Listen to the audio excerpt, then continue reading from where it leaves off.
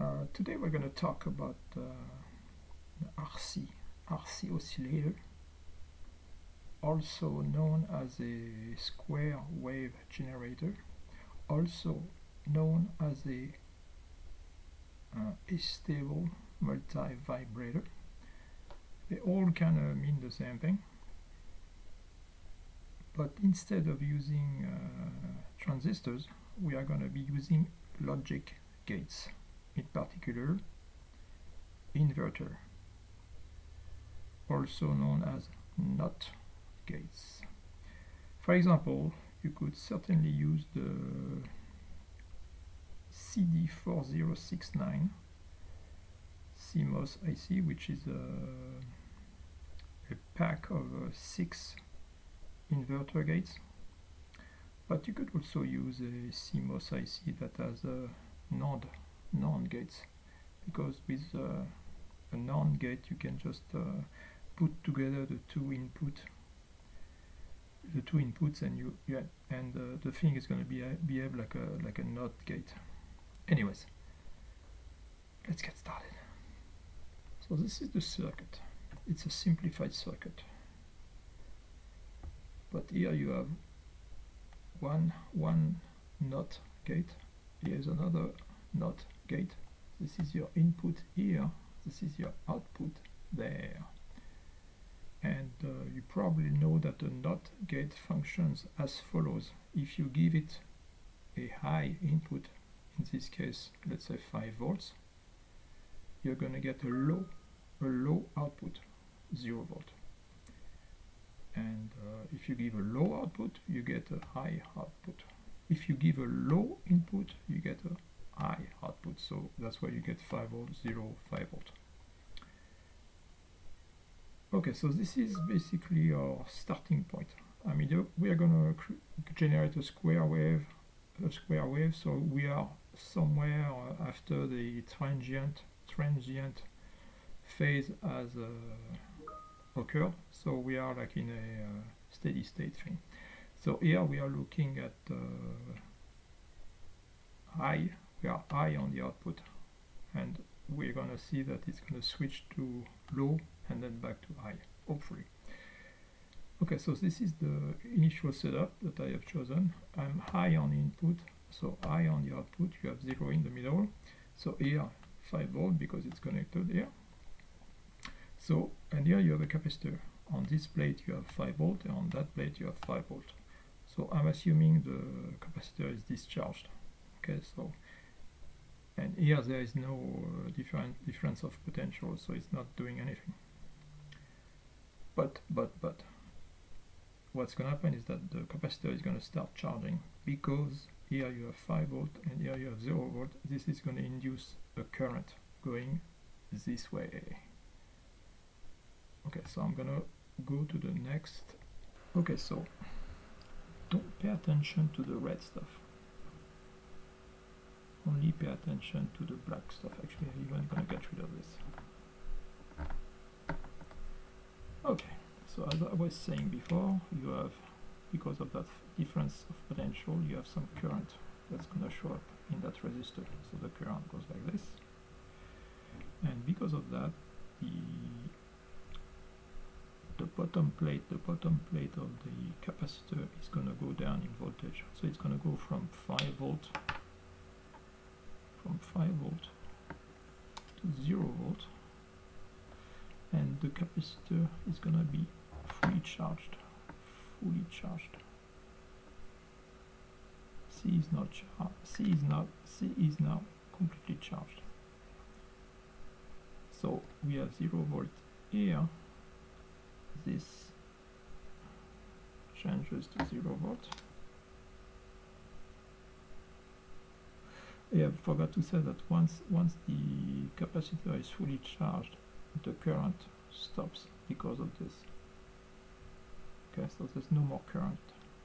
Okay so I can get rid of this. And this is zero. But remember this is a NOT gate so that goes to 5 and this goes to 0 but now pay close attention to the uh, red stuff because now it makes sense. Remember that the capacitor is fully charged so it has a difference of potential of 5 volts. So you have 5 minus 0 equal 5 when this changes from 5 volt to 0 volt that difference of potential has to remain 5 volts. So instead of seeing 5 volts here you're seeing 0 volt and instead of seeing 0 volt here you are seeing minus 5 but the charge is the same. The difference of potential is the same. So I'm gonna have to go to the next board. But this is the situation. So this is the situation. So all the black stuff is whatever we add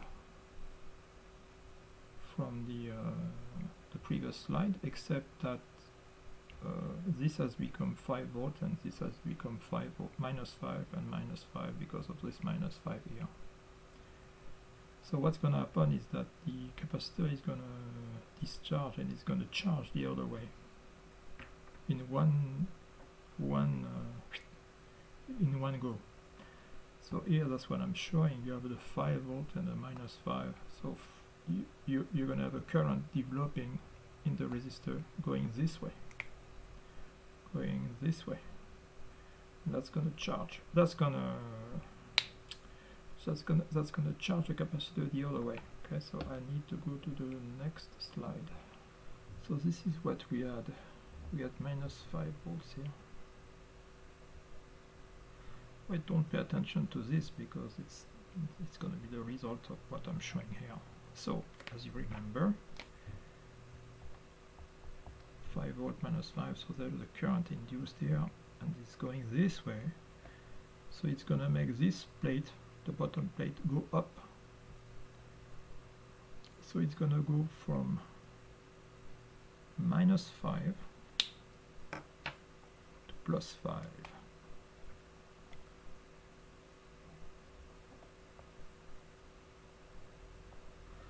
so it's charging so so it discharge and charge the other way compared to the uh, the other slides okay so now let's go to the next slide.